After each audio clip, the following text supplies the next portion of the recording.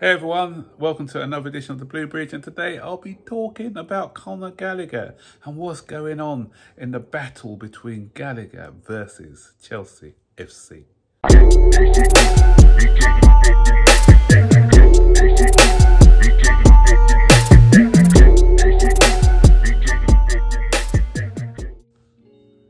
So there's a little war going on, a little battle going on um, between Chelsea and Conor Gallagher.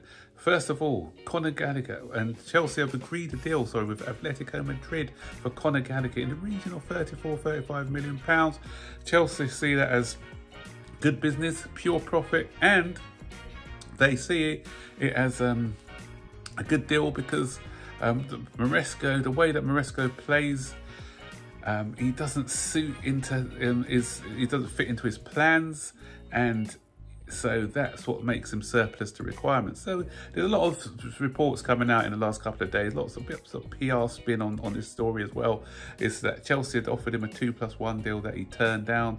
Um, Chelsea earlier turned down a bid from Aston Villa for him, but now they're prepared to sell him for a bit lower to a team who are abroad. So as, as I said before, the deal was agreed with Atletico Madrid, but uh, Conor Gallagher's was it was up to him to make a decision on whether he wanted to join Atletico Madrid.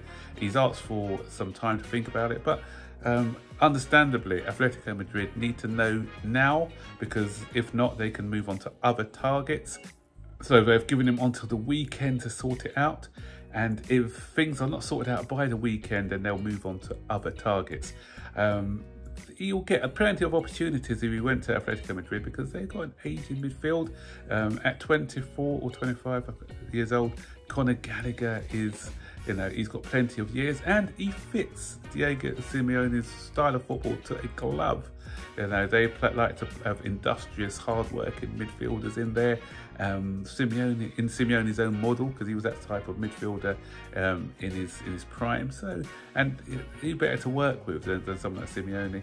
Um, but does he want to go to a different country? Does he want to stay in, in the UK?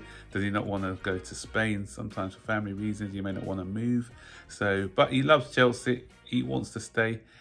But the thing is now, Chelsea, so that's you know, sort of a bit of a stalemate at the moment. So Chelsea said, look, we've agreed a deal, mate. We want you to, to go. We don't fit into our plans. But he said, you know what? I want to stay. This is my boyhood club. So now Chelsea have made the next move if um, reports are to be believed. And what they're saying is that um, Chelsea have said, okay, if you stay, then you will be, you won't be training with the first team squad and you'll be banished to the reserves and you know development side. And so is that a bit petty by Chelsea in response, or is it a way of trying to force Conor Gallagher out of the club? So this has divided the fan base as usual. You've got on one side the the, um, the, the guys who want him out of the club who don't think he's technical enough, and on the other side you you've got the guys who who want him to stay at um, the club yeah, so I think we're in a situation of who blinks first, really, because it would be Conor Gallagher. Would he decide, you know what, I'm not training with the reserves, I want to move, or is it going to be um, Chelsea? But what could Chelsea do if he's not going to sign a new contract? So he can run down his contract, and Chelsea end up getting nothing for him at the end of the day. So, um, yeah, so it's, it's, it's a tricky one. It's a tricky one in all, all for all, all accounts. So. Uh, some people I think saying that the club have, have, done him bad, but there's two ways to look at this. Yeah, I think you know you someone who's who's giving you a lot of uh, service and who's never who's always given 100% when he plays, then yeah, it could be treated a little bit different. But if he doesn't fit into the manager's plans, then what is the point of keeping him if you can get some profit from him? Because if you look at sometimes some difficult decisions have been made in the past. So you look at Man City, the ruthlessness in which they got rid of some of their players. Joe Hart, for instance, you know, he just won a league with them, but he didn't fit into the way that Pep Guardiola wanted to play with goalkeepers, so he was out the door. Yaya Toure was another one. Um, he, he, wanted a different profile of midfielder, and so Yaya Toure was was moved on, and uh, um, Fernandinho and others were, were brought in. So you're always going to get that sometimes where one of your favourites are going to be moving out. If the if we stick with Pochettino, then he, he's ideal for the Pochettino style of play. But for the way that um, Maresca wants to play, not so ideal. And my take on Gallagher, I do like him as a player. I think he's very industrious, hard working. He puts it, it puts in the effort all the time. Very good presser.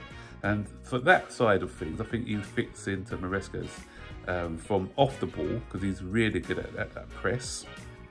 But um, when in possession, that's where I think there is a problem.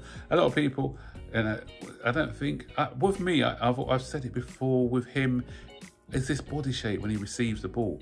I don't think he plays on the half turn. He's not ready. So a lot of times when he receives the ball, he's not in a position to make that forward pass or um, open up the pitch a bit because he's he, he takes the touch and before you know it, then there's a, a player on him. So, and then he has to pass it backwards or sideways. And um, he, so, I don't know, some may not may disagree with me, but I've watched him closely a lot this season. And that's my observations from what I see with him. You know, his, his, his vision is, is not quite there. Now, now and again, he's, he had a good assist ratio the last season. Uh, which you know may contradict my argument, but I still think that you know he's not a visionary um, passer of the ball um, in in most circumstances. So um, that's it. So I, it's it's not it's going to be messy. Whatever, however it ends, if it's um, with him holding out, is it going to do the club any favours as well?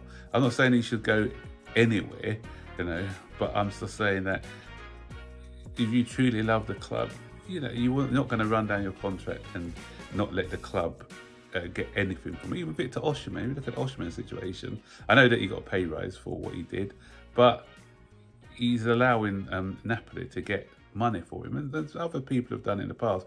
We saw that with, with Maatsen, where he signed a two plus one.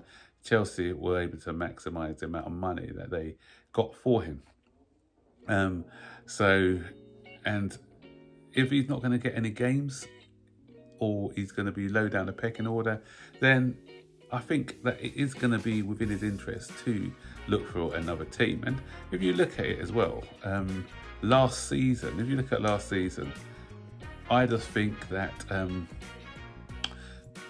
he, the reason he, was the beneficiary of a lot of games is because um, we had a lot of players out injured. Remember Lavia uh, would have played more games had it not been for injuries and and you know he had others out injured. So that's why he cemented his, his, his place in the side.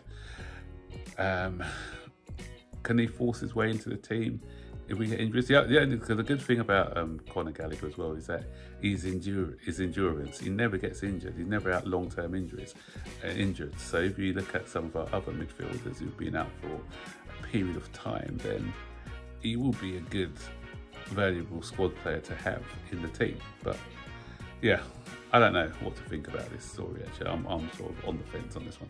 So what do you guys think? Stick your comments in the section below. Do you think that the club are making a mistake in trying to get rid of him? Or do you think that he's, his profile doesn't fit the way that we want to play? Do you think that Conor Gallagher is doing the right thing in trying to hold out and run out his contract? Or do you think that he should um, try and find a new club or agree a deal with Atletico. What are your comments? Stick them in the comment section below. Don't forget, as always, guys, like, subscribe, turn on post notifications to be notified when I make a new video. So take care.